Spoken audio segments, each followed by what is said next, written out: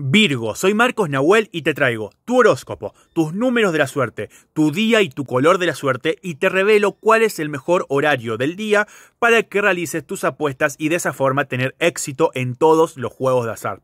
Guarda este video porque tiene información súper útil para tu vida. Todo esto que te voy a mencionar abarca del 8 al 14 de agosto. Virgo, entonces, tus números de la suerte serán dos, el 02 y el 20. Tu día de la suerte será el lunes. Tu color de la buena suerte será el blanco. Y la mejor hora del día para realizar apuestas a las 11 de la mañana. 11 AM. Se termina un ciclo, se termina una etapa en tu vida, así que permitile a la vida llegar con cosas nuevas para vos y con nuevas y mejores energías. En la relación de pareja es momento tal vez de terminar tu relación de pareja, tal vez ya cumplió un ciclo, aprender a reconocer cuando algo se termina, cuando algo ya cumplió su razón de ser en tu vida. O tal vez no tenés que separarte, tal vez tenés que cambiar tu mentalidad, tal vez no más celos, tal vez no más reproches, no más engaños, no más infidelidad, no más peleas, algo se tiene que terminar, un ciclo tiene que terminar para darle lugar a cosas nuevas y mejores en la relación.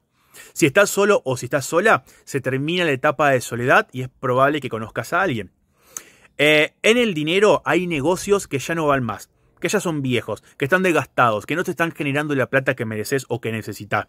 Hay proyectos, o hay negocios, o hay sueños, o metas, o tal vez un socio que ya no va más. Ya hay algo a nivel económico que cumplió su razón de ser. Se cierra ese ciclo y date la posibilidad de darle una vuelta de tuerca a tu economía, nuevos planes, nuevas metas, nuevos proyectos, nuevos emprendimientos, nuevos negocios, nuevas empresas, cosas nuevas. En la salud también se cierra un ciclo. Si antes de pronto no hacías dieta, se termina ese ciclo y ahora te comenzás a cuidar más y mejor.